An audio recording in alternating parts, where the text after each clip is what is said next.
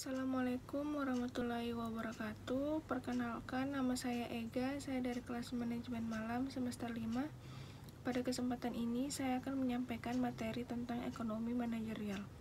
Sebelumnya saya juga ingin mengucapkan terima kasih kepada Bapak Sunarto SMSI selaku dosen pengampu mata kuliah ekonomi manajerial. Pertama, saya akan menjelaskan pengertian ekonomi manajerial.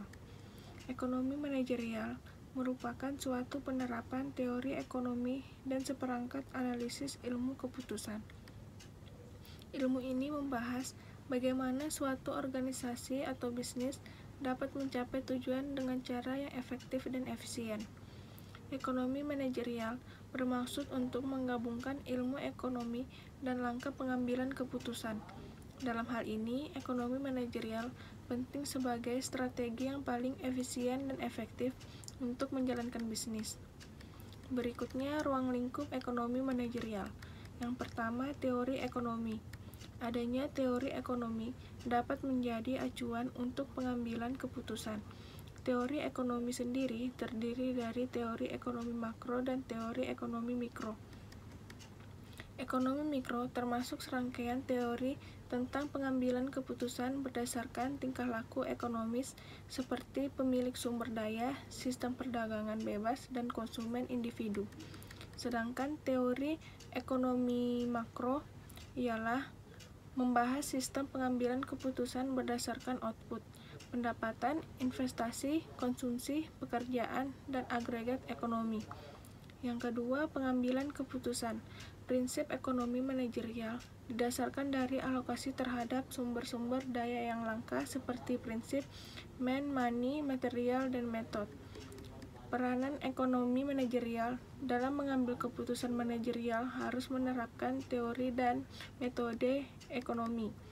Lalu keduanya digabungkan dengan alat-alat dan teknik analisis ekonomi untuk pemecahan masalah manajerial secara optimal. Yang ketiga, ilmu keputusan.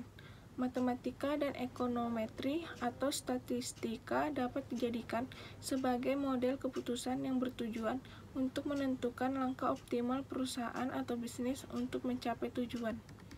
Yang keempat, ilmu administrasi bisnis.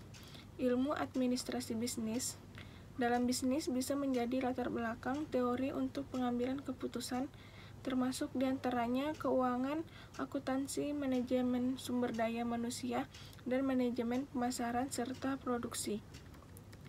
Selanjutnya, fungsi dan tujuan ekonomi manajerial.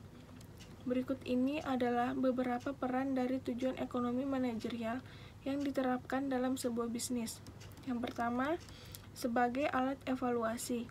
Ekonomi manajerial dapat dijadikan sebagai alat evaluasi jika terjadi pergantian manajer baru.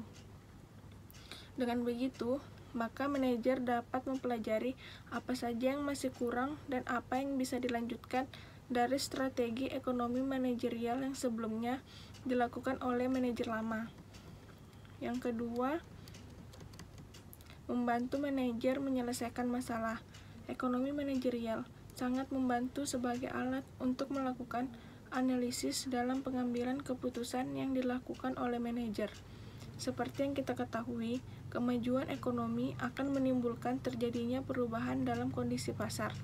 Dengan begitu, maka perlu dilakukan pembaruan kebijakan sebagai upaya pengembangan perusahaan atau bisnis yang lebih efektif.